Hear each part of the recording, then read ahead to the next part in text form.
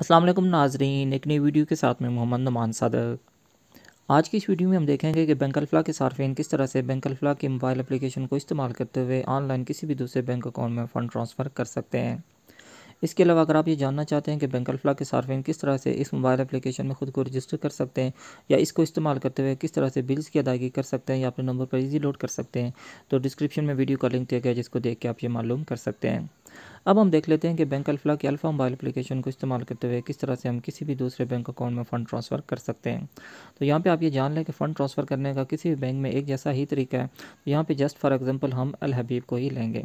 तो यहाँ पे आप देख लें अल्फ़ा मोबाइल एप्लीकेशन को हम ओपन करते हैं तो इस तरह का इंटरफेस हमारे सामने ओपन हो जाता है।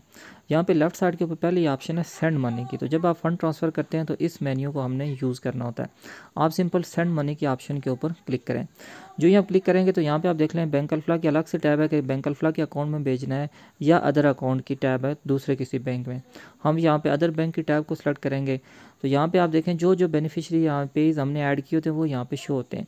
तो अगर आपका पहले से कोई पेज मौजूद नहीं है तो आपने सिंपल क्या करना है, यहाँ पे लिस्ट में से बैंक को सिलेक्ट करना है। तो यहाँ पे जितने भी पाकिस्तान के अंदर रजिस्टर्ड बैंक हैं, वो सब, सबका नाम आपके सामने आ जाएगा। आपने सिंपल क्या करना है, जिस अकाउंट में आप पैसे भेज रहे हैं, उसके बैंक का नाम आपने सबसे पहले सेलेक्ट करना है। तो मैं यहाँ पर अपना ही बैंक अल में एक अकाउंट है, मैं उसको सेलेक्ट करके देखता हूँ। यहाँ पर सेलेक्ट करने के बाद आपने सिंपल सबसे पहले सोर्स अकाउंट लिखना होता है। अगर आपके एक से ज़्यादा अकाउंट हैं तो आपने फिर एक अकाउंट सेलेक्ट करना होगा बैंक अल्फला का जिससे आपने पैसे भेजने। तो यहाँ पे मैं अपना अकाउंट सेलेक्ट कर रहा हूँ जिससे मैंने फ़ंड ट्रांसफ़र करने। अब आपने यहाँ पे क्या करना है? बैंक हबीब का वो अकाउंट जिसमें आपने फ़ंड ट्रांसफ़र करने वो लिखने इसी तरह अगर आप किसी दूसरे बैंक में भेज रहे हैं तो आपने सिंपल क्या करना है? सबसे पहले वो बैंक सेलेक्ट करना है जिसमें आप पैसे भेज रहे हैं और उसी तरह फिर आपने यहाँ पर अकाउंट नंबर लिखना तो ये सबका तरीकाकार एक जैसा ही है। अब आपने बैंक जब लिख लिया तो उसके बाद आपने अमाउंट लिखनी होती है। अब जब आप अमाउंट लिख लेते हैं तो उसके बाद नेक्स्ट पर्पज़ की ऑप्शन आते हैं तो आप यहाँ पे कोई भी पर्पज़ सेलेक्ट कर सकते हैं। पर्पज़ जब आप सेलेक्ट कर लेते हैं तो यहाँ पे नीचे आपने नेक्स्ट कर लेना। तो अमाउंट आप देख लें मैक्सिमम आप ढाई लाख रुपये तक एक दिन में भेज सकते हैं। अब पर्पज़ वगैरह सेलेक्ट करके अमाउंट लिख के तो आपने नेक्स्ट करते हैं। तो यहाँ आपके सामने अकाउंट आ जाएगा जिसमें आप पैसे भेजते हैं। आपने सिंपल यहाँ पे वेरीफाई करना है क्या ये वही अकाउंट है या नहीं है।